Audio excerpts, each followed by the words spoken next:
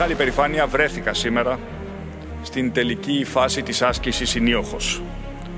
Όχι μόνο γιατί η επιτυχία της ανέδειξε τις δυνατότητες των ενόπλων δυνάμεων της χώρας μας, αλλά και γιατί σε αυτήν συμμετείχαν πολλές συμμαχικές χώρες που συνεργάστηκαν σε όλη την έκταση του ελληνικού FIR.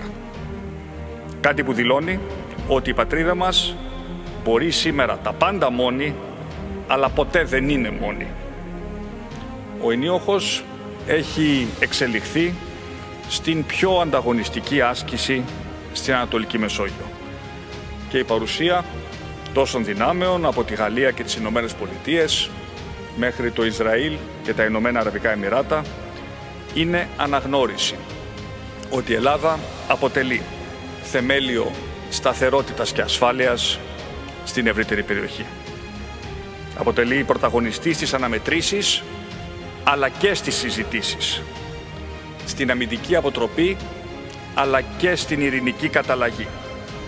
Με το εθνικό συμφέρον και το διεθνές δίκαιο μόνιμες πηξίδες της. Πολλά συγχαρητήρια λοιπόν σε όλες και σε όλους, κυρίως κύριε Αρχηγέ στην πολεμική μας αεροπορία, για την άψογη οργάνωση αυτής της άσκησης.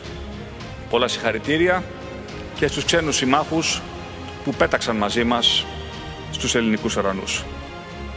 Φεύγω από την Ανδραβίδα και την 117 πτέρυγα μάχης, πιο χαρούμενος, πιο σίγουρος και αναμένω, κύριε Αρχηγή, στον ενίοχο της επόμενης χρονιάς, του 2022, να καμαρώσουμε τους πιλότους μας και στα νέα Ραφάλ, έχοντας δίπλα τους την άσκηση ακόμα περισσότερους φίλους από φίλες χώρες.